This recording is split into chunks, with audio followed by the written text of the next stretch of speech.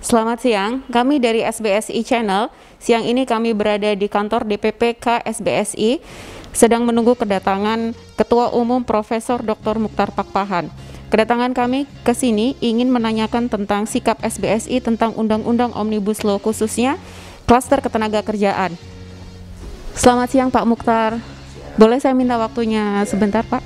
Uh, saya ingin menanyakan pendapat atau statement Bapak mengenai Undang-Undang Omnibus Law uh, khususnya klaster ketenaga kerjaan yang disahkan pada tanggal 5 Oktober 2020. Ya, uh, sejak awal kita intens ikut uh, mengamati dan membahas RUU uh, Omnibus Law atau Cipta Kerja khususnya klaster ketenaga kerjaan saya eh, kita di SBC malah sempat membuat eh, perbandingan sandingan seperti yang ini.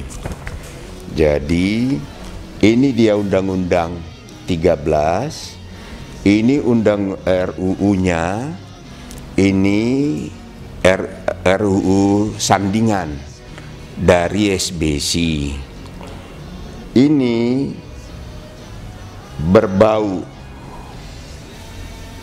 kapitalis karena Soekarno dari dulu waktu memperjuangkan kemerdekaan satu yang dia musuhi yaitu eksploitasi de l'homme par manusia menghisap darah manusia dalam bentuk outsourcing dan buruh kontrak atau buruh kuli, kuli kontrak.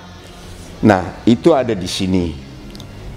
Lalu di sini makin dipertajam lagi, makin diperlebar lagi, yaitu kalau di Undang-Undang 13 itu disebut yang boleh di outsourcing adalah yang tidak core bisnis.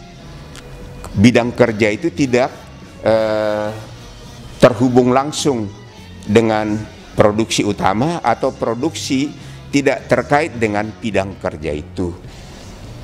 Tetapi sekarang di sini di yang biru ini dibikin rencananya menjadi semua boleh outsourcing. Nah, kita masuk rencana hubungan industrial sandingan kita sebut namanya hubungan industrial gotong royong. Ini cocok mengambil pikiran dari Soekarno. Nah, lalu ada lagi dua poin penting di sini disebut diatur jelas di Undang-Undang 13 buruh yang sudah bekerja secara kontrak atau PKWT lebih dari tiga tahun otomatis menjadi PKWTT atau jadi buruh tetap.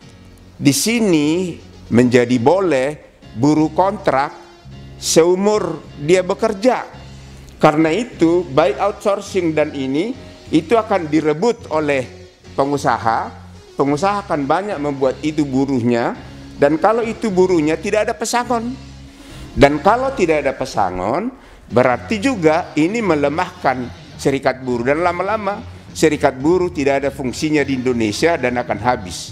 Buruh kontrak dan buruh outsourcing takut berserikat.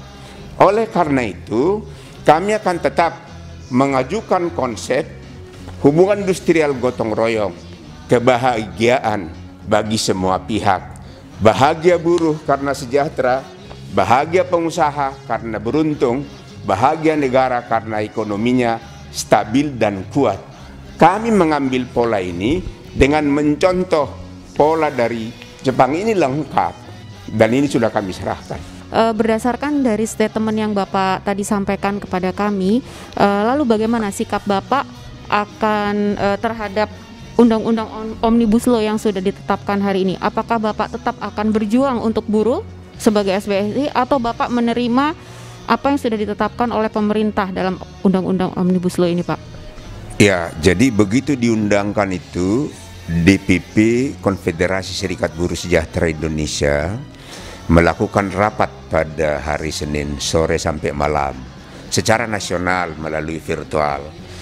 Jadi rapat itu menyetujui bahwa kita tolak ini dan cara menolaknya DPP SBC, SBC tidak hanya DPP lagi sudah menggariskan dari rapat koordinasi nasional bahwa langkah hukum kita akan tempuh menguji di Mahkamah Konstitusi. Lalu kita bikin langkah politis melakukan aksi-aksi di seluruh Indonesia mengajak komponen lain mahasiswa, pemuda dan lain dan petani untuk ya menyadarkan mereka bahwa ini uh, hukum yang membuat penderitaan supaya tiba mungkin pada saatnya kalau rakyat marah ya kita harapkan sampai disobey. Ketidakpatuhan terhadap undang-undang ini eh, lalu yang ketiga kita juga menggalang komponen lain. Seperti eh, kita sudah dengar Muhammadiyah, NU, MUI dan kami juga dengan kami Kesatuan Aksi Menyelamatkan Indonesia kita akan berkomunikasi. Lawan Demikian liputan kami Rabu 7 Oktober 2020 dari gedung DPP KSBSI bersama dengan Dr. Eh, Profesor Dr. Mukhtar Pakpahan. Saya Jamila beserta kru yang bertugas mengucapkan terima kasih dan selamat siang. Lawan